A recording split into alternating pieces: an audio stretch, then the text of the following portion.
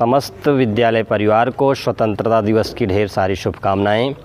प्यारे बच्चों, सम्मानित अभिभावक बंधुओं, तथा विद्यार्थियों को अपने उद्देश्य की ओर ले जाने वाले सम्मानित गुरुजनों, आज हम लोग स्वतंत्रता दिवस के इस पावन पुनीत अवसर पर अतीत में देश के लिए संघर्ष करने वाले उन महापुरुषों को स्मृत करने का दिवस है, जिन्होंने अपने बलिदान, त्याग और राष्ट्र के प्रति समर्पण के कारण स्वयं को इस राष्ट्र की उन्नति के लिए, राष्ट्र की आज़ादी के लिए बलिदान कर दिया है।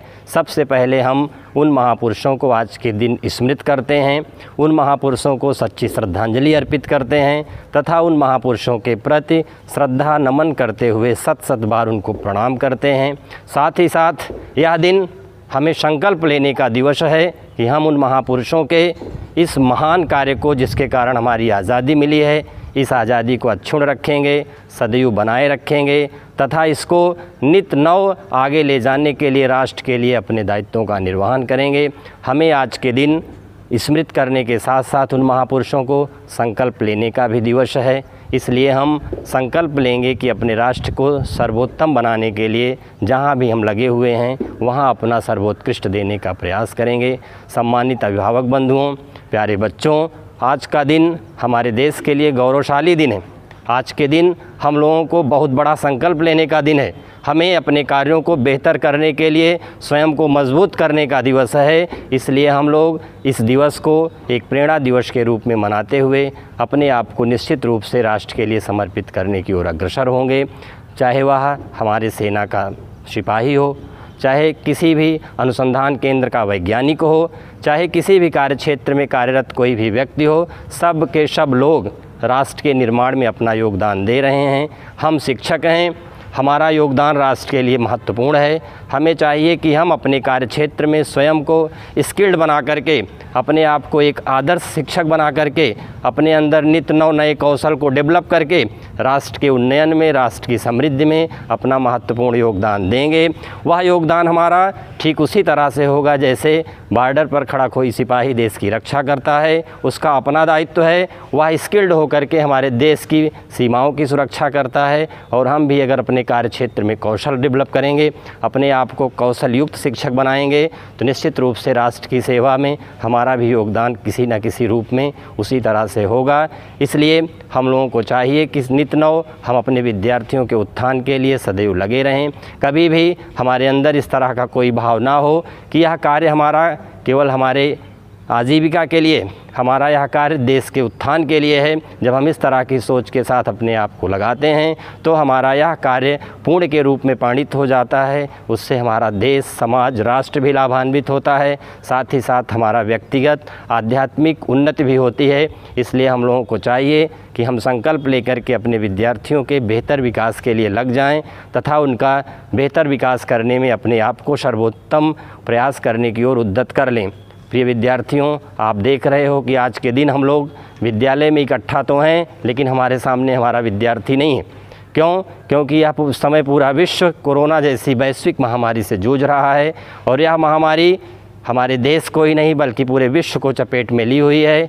हमें जिस तरह से हमारे बॉर्डर के सिपाही विषम परिस्थितियों में अपने राष्ट्र के रक्षा के लिए लगे होते हैं, चाहे उनकी परिस्थितियाँ विपरीत हों, चाहे ओले पड़ रहे हों, चाहे बर्फ़ गिर रही हो, किसी भी स्थिति में वे अपनी सीमा को नहीं छोड़ते हैं।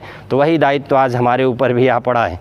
कोरोना जैसी वैश्विक महामारी के कारण हम अपने हाथ को सिर से रख करके, अपने आप को कृत विमूढ़ बना करके नहीं बैठ सकते हैं।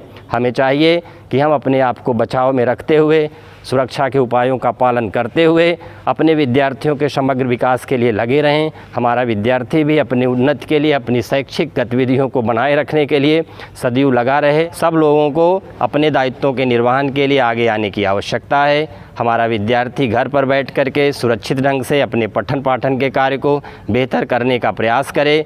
हम लोग विद्यालय पहुँच करके आपको बेहतर शिक्षा देने की ओर प्रयासरत हैं। शासन और प्रदेश सरकार, हमारा विभाग, जो कुछ भी निर्देश है उसका अक्षरसा पालन करते हुए आपका विद्यालय आपको ऑनलाइन शिक्षा देने के लिए प्रयासरत है और उसमें हम लोग काफ़ी सफलता प्राप्त कर लिए हैं। आज 15 अगस्त के इस पावन पुनीत अवसर पर हम अपने अभिभावकों को बड़े ही सहर्ष बताना चाहते हैं कि हमारे विद्यालय परिवार ने कक्षा 9, 10, 11, 12 के ही वीडियो देखे जाएँ।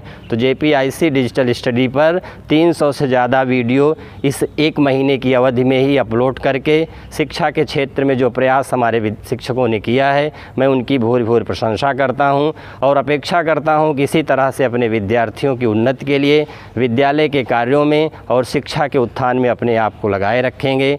सम्मानित गुरुजनों, आपका यह त्याग, आपका यह प्रयास निश्चित रूप से हमारा अभिभावक, हमारे विद्यार्थी समझ रहे हैं और आप, इसका लाभ आपको निश्चित रूप से मिलेगा। इसलिए सभी लोग मेहनत के साथ लगे रहें।